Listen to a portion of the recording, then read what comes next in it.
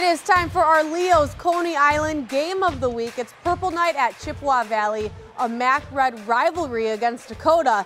Chippewa trying to spoil Dakota's perfect record and ongoing streak. And the home team, they score first. Andrew Schuster hands it off to Jordan Byers, who thanks his blockers and goes quite literally untouched into the end zone for the Big Reds' first score. Chippewa would go to add a field goal, but a little trickery Brady Hamby straight off the snap and the long run. He gets caught and tackled into the end zone eventually, but it's good. It makes it 10-7. That's where it stayed at the half. So all about the run game tonight. Second half here, Cash Schwa. What a name. Almost tackled on the handoff, but that turns into a 54-yard run and into a two-touchdown game. The Big Reds add the two-point conversion to make it 28-14. Late in the fourth, Dakota still hanging around. Jaden Ford to Caleb Pritchard, who toe taps himself in bounds. It's good, but not enough. Chippewa Valley wins 28-21.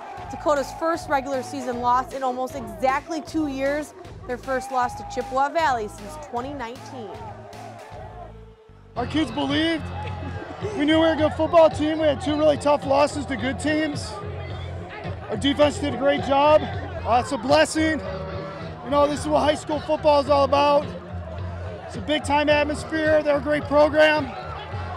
Anytime you can beat them, it's a major, major accomplishment.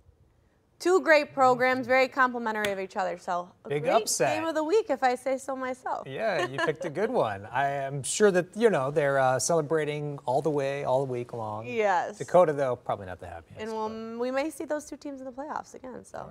We'll check back in then. Thanks, Gino.